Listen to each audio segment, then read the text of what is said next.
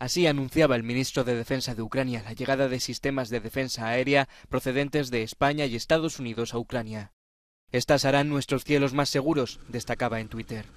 El objetivo es reforzar la defensa de los suministros críticos de las ciudades ucranianas. Según Ucrania, las fuerzas rusas han lanzado cuatro misiles y 24 bombardeos aéreos en la última jornada. La situación no parece desescalar, a pesar de que medios como Wall Street Journal apunten que hay conversaciones en este sentido. El portavoz del Kremlin, Dmitry Peskov, ha destacado no tenemos nada que decir sobre esta publicación. Los periódicos anglosajones publican muchas falsedades. Hemos dicho en repetidas ocasiones que Rusia sigue abierta a alcanzar sus objetivos mediante negociaciones.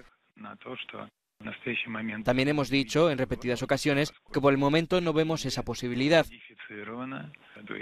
porque Kiev ha aprobado una ley para dejar de negociar con la parte rusa. Mientras, en la región de Kiev, la situación del suministro energético sigue siendo tensa. La Administración Militar Regional pidió a los residentes que utilizaran la electricidad con moderación. Además, el operador Ukrenergo tuvo que realizar cortes de emergencia. Según las autoridades ucranianas, Rusia ha destruido alrededor del 40% de las infraestructuras energéticas de Ucrania desde principios de octubre i